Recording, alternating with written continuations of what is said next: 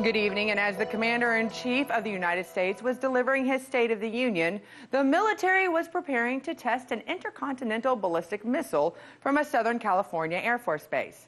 Now, it comes amid rising tensions between the United States and Russia after President Donald Trump's decision to pull out of a key nuclear weapons treaty.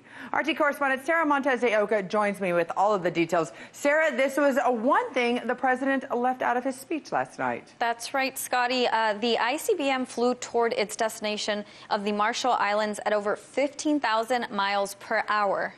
The unarmed missile hurtled across the Pacific Ocean before splitting into three parts, with a final mock warhead flying to the islands 4,200 miles away.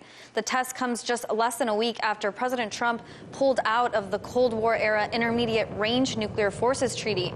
Now, the Minuteman III intercontinental ballistic missile blasted out of its silo from the Vandenberg Air Force Base, spewing fire and smoke. Tuesday's test was a routine one and the third launch of its kind uh, just this year. Now, these test launches are carried out to test its capabilities and used to collect information about the weapon's accuracy and their reliability. And although weapons like the ICBM were not banned under the INF Treaty, this still comes at an interesting time.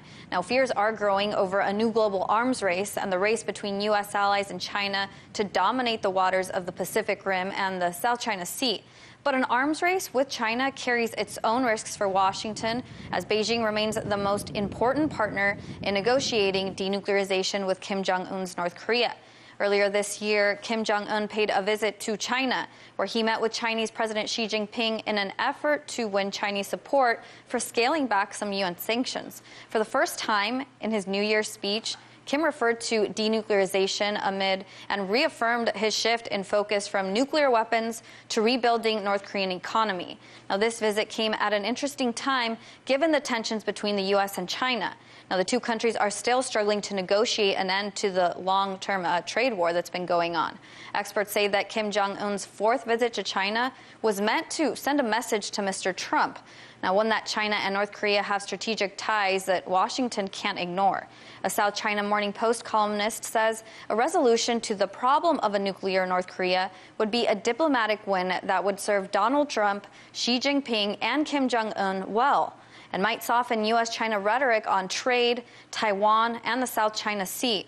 Now, the issue of North Korea may still prove decisive in forming Trump's approach to China, considering how important this really is to him. On Tuesday night's uh, State of the Union, President Trump touted diplomacy with North Korea as one of his most significant accomplishments in office. As part of a bold new diplomacy, we continue our historic push for peace on the Korean Peninsula. Our hostages have come home. Nuclear testing has stopped, and there has not been a missile launch in more than 15 months. If I had not been elected President of the United States, we would right now, in my opinion, be in a major war with North Korea. Much work remains to be done, but my relationship with Kim Jong un is a good one. Chairman Kim and I will meet again on February 27th and 28th in Vietnam.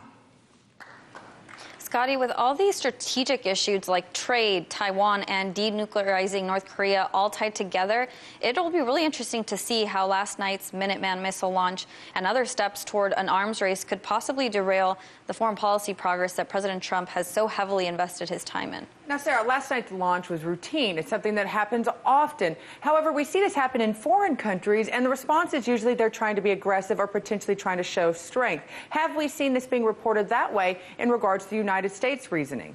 We haven't yet. This was an unarmed missile. Like you said, these practices, these routines take place all over the world China, the U.S., especially in the South China Sea, uh, but it hasn't been reported just yet. Well, let's hope that this continues to be a pathway towards peace to February 27th to 28th. Thanks for joining us, Sara. Hey YouTube, thanks for checking out our channel. We hope you enjoyed the video. We have tons of content for you just like this. For more of RT America's one-of-a-kind news and analysis, be sure to subscribe and never stop questioning more.